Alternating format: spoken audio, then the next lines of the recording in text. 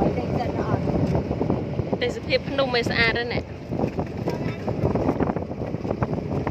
ឡើងថ្មៃជើងម្ដងដែរឡើងយើងខានឡើងយូរណាទុកខានឡើងថ្មៃជើងយូរណាស់ហើយ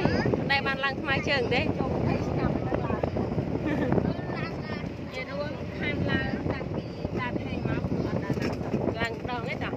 តែទឹកនេះឡើងទេតាឡើងមួយដល់តែយើងឡើងត្រឹមនេះទៅចន្ទរ៉ែក៏បានដែរ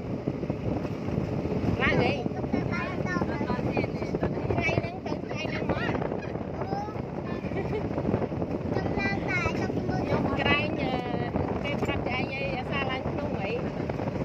ើងមិនឡើងឯដល់ផុតទេយើងឡើង200កាំពី200កាំអីហ្នឹងហើយ ដល់ខ្ញុំឡើងទៅមើលមកក្រោមឲ្យខ្ញុំភ័យ ចឹងបានថាហ្នឹងហើយយើងឡើងត្រឹមពី200កាំទៅយើងចុះមកវិញមក អឺមើលមកក្រោមស្នូ យើងមិនបាច់ចាំឡើងដល់លើទេយើងឡើងត្រឹម3ពី200កាំទៅបាទ ថ្ងៃអាទិត្យហ្នឹងមើលថាគេសាក់ផ្លេចថ្ងៃអាទិត្យទៅ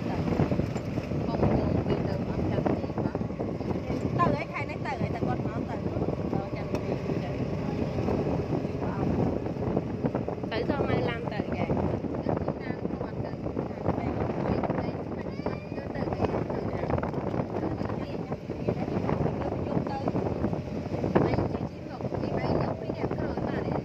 ងឯងលីណា នឹងឲ្យឆាយមួយឲ្យទៅច្បាំងគ្នាខ្លួនបានយកទៅកូនបើទៅបានខ្ញុំខំឡោសុំចេញចេញជួបឲ្យឆាយរងណាកូនបងខំឡោកូនបើទៅរហូតទៅរោមកគេរហូតត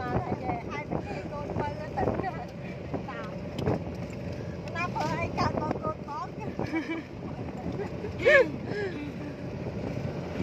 កូនបើគេយកបានតែម្ដងទេ